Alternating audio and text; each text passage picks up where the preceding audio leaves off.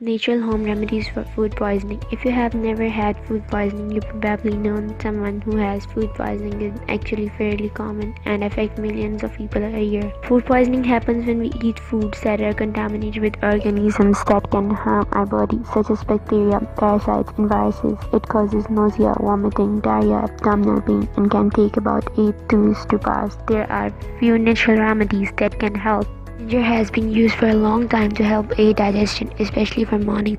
Furthermore, it's used to help with vomiting, a common symptom of food poisoning. You can make some ginger tea to relieve these symptoms by boiling a cup of water with a teaspoon of grated ginger or just add ginger slices apple cider vinegar. Even though it's an acid, when apple cider vinegar gets metabolized in our body, it has an alkaline effect which can relieve several food poisoning symptoms. Organic, unfiltered apple cider vinegar also has properties that can kill bacteria and give you relief from the symptoms. A good way to benefit from it.